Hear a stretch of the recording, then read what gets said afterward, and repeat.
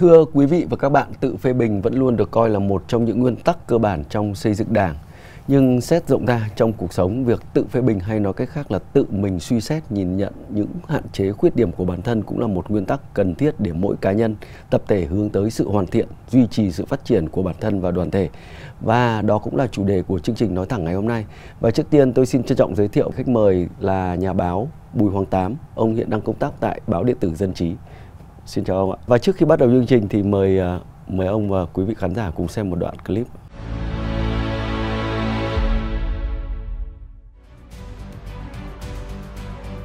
Xã Lũng Cú, huyện Đồng Văn, tỉnh Hà Giang là một xã có nhiều hộ gia đình khó khăn. Sản xuất kinh tế chủ yếu là trồng ngô theo cách truyền thống trên các vườn tạp. Để giúp bà con nâng cao thu nhập, xã Lũng Cú cử cán bộ nông nghiệp hỗ trợ bà con chuyển đổi cây trồng sang trồng cây bắp cải, nhưng không thành công do cách thức sản xuất cũ không phù hợp.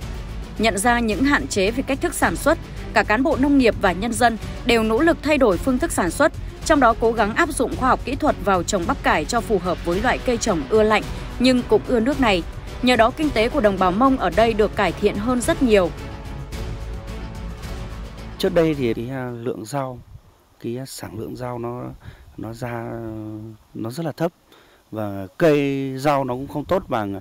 Bây giờ như kiểu em áp dụng khoa học kỹ thuật thì em đã dùng cái hệ thống à, tưới tới nhỏ giọt. Và từ cái hệ thống tới nhỏ giọt này thì khi mà mình bơm nước vào thì nước nó ngấm đều ra tất cả các các gốc của cây. Thì từ đó thì cây bắp cải nào cây nào cũng như cây nào nó to và đều như nhau. Tự mình nhận ra sai lầm của mình là một việc làm khó, không phải ai cũng làm được. Công ty lữ hành này sau một thời gian gặp rất nhiều khó khăn do ảnh hưởng của Covid-19, một nửa lao động nghỉ việc, doanh thu sụt giảm nghiêm trọng. Tự nhìn nhận cách kinh doanh cũ, cách quản lý cũ đã lỗi thời, không còn phù hợp, họ đã mạnh dạn thay đổi cách kinh doanh, cùng với đó là ứng dụng chuyển đổi số và sử dụng các app để phù hợp với yêu cầu thay đổi bức thiết lúc đó. Đây là một trong yếu tố khó nhất đối với người đứng đầu một doanh nghiệp là khi chúng ta quyết định rằng đập bỏ chính mình nghĩa là ta phủ nhận chúng ta chúng ta nhận chúng ta đã sai. Nếu như dám làm điều đó thì chúng ta sẽ ờ, nhận ra được cái được gọi là cơ hội mới thích nghi. Và khi nhận được cơ hội mới thích nghi rồi lại khắc phục được các cái yếu tố vật cảm các cái yếu tố nó vướng mắc trên khó khăn trong quá trình thực hiện. Trên đây chỉ là những câu chuyện ví dụ về việc tự nhận ra những hạn chế không còn phù hợp thực tế để tìm giải pháp sửa chữa và phát triển. Trong cuộc sống, việc tự phê bình, tự nhận ra những hạn chế, nhược điểm, thậm chí là sai lầm của bản thân là việc làm cần thiết để sửa đổi, trau dồi, hoàn thiện mình và để xây dựng tập thể, cơ quan, đất nước vững mạnh. Nhưng nghe lời khen thì thường dễ, nghe lời chê lại khó. Không ai muốn tự nhận sai về mình. Muốn hoàn thiện bản thân phải biết lắng nghe phê bình, quan trọng hơn là tự mình phê bình, tự mình nhận ra khuyết điểm, sai lầm để hoàn thiện mình và xây dựng tập thể. Nhưng việc đó không phải ai cũng làm được chưa bao giờ dám tự nhận khuyết điểm của anh trước tổ chức. Và tổ chức cũng chưa bao giờ dám đánh giá khuyết điểm của một đồng chí cán bộ của đảng mình phê bình và phê bình nó có nhiều quy mô như vậy nó nhiều cấp độ như vậy. Thế nhưng bấy lâu ta thì ta làm phê bình thì chủ yếu là những cái sinh hoạt trong cái họp chi bộ tự phê bình là tự phê bình mình thì đây là tư cách cá nhân. Thế còn đến tổ chức đảng đấy thì tự phê bình là, là là phê bình trong tổ chức mình nhìn ra được những cái ưu điểm cái khuyết điểm của tổ chức mình. Tôi có một anh bạn thân là kiến trúc sư Đoàn Kỳ Thanh. Anh này học ở nước ngoài. Tôi tham gia rất nhiều những cái bữa cơm tối cùng gia đình anh Thanh từ lúc mà hai cô con gái còn rất là nhỏ. Sau mỗi bữa cơm của gia đình thì bao giờ mấy bố con cũng ngồi cùng với nhau và nói những cái câu chuyện ở trong ngày. Con đi học như thế nào, có vấn đề gì không? Người cha cũng tâm sự các con về công việc của mình và họ cùng bàn luận về những cái câu chuyện trong ngày và tự phê bình mình nhưng mà ở trong một không khí rất là ấm áp theo cái góc nhìn của nhà, nhà báo Bùi Hoàng Tám ông định nghĩa thế nào về cái câu chuyện gọi là tự phê bình ạ? À, Trước hết là một câu chuyện rất hay về gia đình. Tôi thì tôi nghĩ là đấy là một phương pháp rất khoa học, rất hay. À, có lẽ trong cái quá trình đi nước ngoài, vị kiến trúc sư này đã làm thay đổi phương cách thể hiện.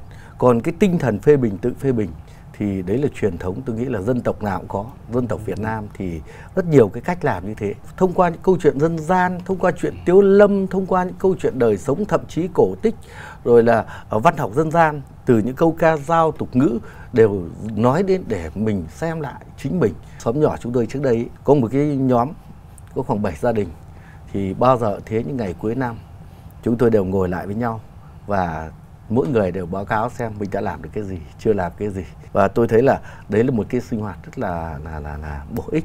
Đối với mỗi một cá nhân ấy, thì chúng ta nếu mà muốn sống tốt hơn cuộc sống đầy đủ hơn thì phải nỗ lực trong lao động trong tâm hồn bồi đắp rất là nhiều các cái kiến thức cũng như trong đời sống tinh thần. Thì theo đánh giá của nhà báo thì việc tự phê bình trong nội tâm mỗi người thì mang lại những giá trị gì cho bản thân họ tự phê bình rất tốt dạ. trước hết là mình biết mình là ai để tránh ngộ nhận về mình. Đấy à, cái quan trọng lớn nhất là mình biết mình là ai. Một việc làm tốt cũng như xấu thì đều bao giờ cũng thế có tác động từ hai phía. Ví dụ như để xảy ra một cuộc cãi nhau thì anh đừng nghĩ rằng là anh không có lỗi. Chắc chắn là cả hai có lỗi có điều ai lỗi nhiều ai lỗi ít. Khi mà mình tự nhìn nhận được việc đó thì mình có có thể đánh giá mình tương đối chuẩn xác hơn.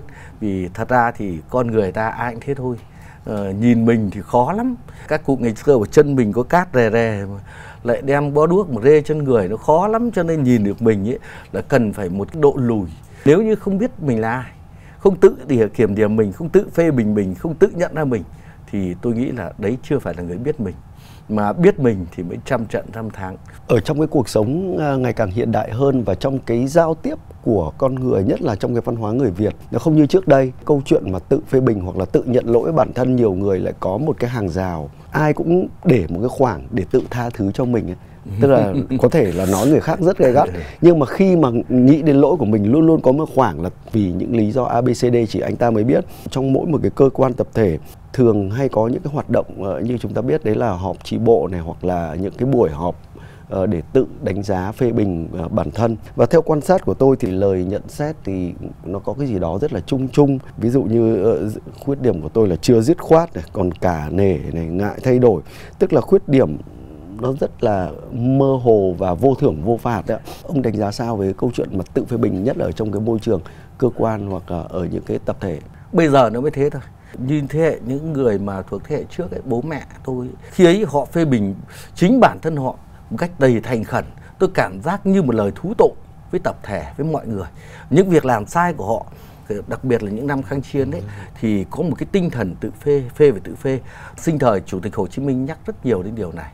Có lẽ điều người chăn trở một điều người chăn trở đấy là tính, tinh thần phê và tự phê. Chính cái điều đó nó lan tỏa trong quần chúng nhân dân. Và cái thế hệ cha chú tôi thì cái tinh thần nhận trách nhiệm, cái tinh thần nhận sai sót, tinh thần phê bình nó cao lắm. Nhưng rồi dần dần nó cứ nó cứ nguội dần đi. Đến bây giờ thì lắm lúc là đọc bản phê bình của uh, các bác ấy cảm giác như một lời uh, khen hơn là lời phê một lời uh, tự tâng bốc mình. Nào là tôi tự nhận là có những khuyết điểm ví dụ như tính tôi nóng tính tính tôi cả nể tình cảm quá. Thật ra thì bác ấy chả cả nể gì cả bác cũng chả nóng tính gì cả. Chỉ có điều là năng lực bác ấy có thể là kém hoặc là bác ấy cũng chả tốt gì. Thế nhưng mà khi nói thì bác của tôi nóng tính đôi khi làm anh em mất lòng tôi thế nọ tôi thế kia. Nghĩa là đọc xong lời phê bình ấy thì cảm thấy bác ấy chả có lỗi gì và sau khi bác phê bình bác ấy còn đẹp hơn hay hơn cả lúc bác chưa tự phê bình. Cái cách ứng xử của nhất là đồng nghiệp với nhau nó có một cái gì đó giữ kẽ tức là lúc nào cũng thủ thế anh. À, sợ mất lòng. Thậm chí là cũng không ít người lợi dụng cái việc phê bình để nói xấu nhau, bêu xấu nhau. Nhưng mà cũng người họ thật lòng, họ nói. Thì giữa cái thật với cái giả nó bị lẫn lộn. Cái người tiếp cận thông tin ấy thì lại không biết đâu là thật, đâu là giả cuối cùng là ừ, quy hết vào đấy là nó đánh mình đấy là nó nói xấu mình đấy là nó thế nọ thế kia mình. Nhưng mà thời bây giờ nó có hay đấy là nó có mạng xã hội. Ở đó thì trời ạ à, họ chê nhau thì dã man luôn. Họ có thể lôi hết tất cả mọi thứ xấu của nhau ra. Mà họ không biết rằng chính họ cũng mắc rất nhiều tính xấu trong đấy. Thậm chí chỉ một lần một ờ, câu nói thôi bạn có thể bị ném đá đến chết vì ngôn từ vì sự xúc phạm. À, tôi thường xuyên theo dõi những cái bài viết của nhà báo Bùi Hoàng Tám trên mạng xã hội cũng như là ở trên uh, báo chí chính quy. Thì được biết là ông có một sự quan tâm đặc biệt đến nguyện vọng và tâm tư của của người dân rất là nhiều bằng chứng là cả những cái bài viết nói lời dân mà đồng nghiệp và độc giả rất là đồng tình và đón đợi. Thì trong quá trình mà nói lời dân như đó thì có lúc nào ông tự phê bình để hoàn thiện mình hay không Có chứ, tôi có may mắn, đấy là cái chủ trương của báo dân trí khi giao blog cho tôi để cho tôi toàn quyền duyệt comment của bạn đọc. Có những bài tôi duyệt, duyệt hàng nghìn comment. Và bạn thứ biết không chính comment ấy là những lời phản ánh cho tôi. Và tôi có được như thế này một chút xíu như thế này là nhờ có những comment bạn đọc.